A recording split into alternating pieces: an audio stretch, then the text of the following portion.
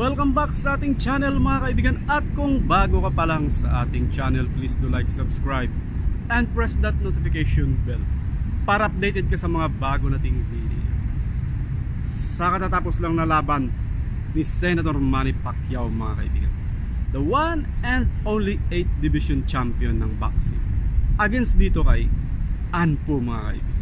Well maraming nagsasabing Umihina na daw si Pacman at hindi na pwedeng lumaban sa pro fight mga dahil malakas ang ugong-ugong nalalaban ito kay Barrios mga kaibigan. Well actually yung laban na yun is just an exhibition fight mga kapatid.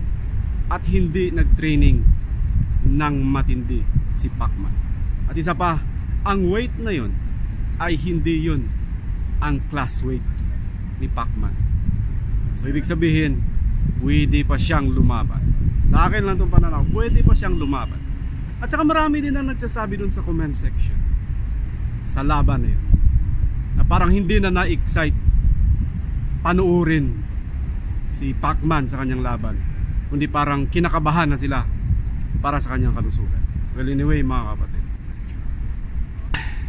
kapag gusto ni Senator Manny Pacquiao talagang matinding preparation ng kanyang gagawin well subaybayan natin kung ano ang update at kung ano ang mangyayari. Talagang lalaban pa ba siya?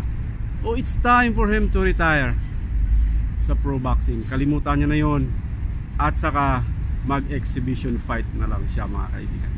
Well sa exhibition fight it takes only 3 rounds or 5 rounds. Pero may pera pa rin diba so pwede ring si McGregor ang kanyang makalaban Raider yung mga former champion at saka mga legendary sa boxing na pwede pang mag-exhibition fight. So, wala tayong magawa kung yan ang hilig nila mga kaibigan. At saka pera talaga yan.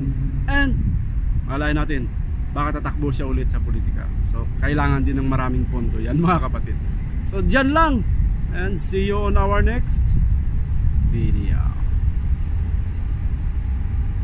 Bye bye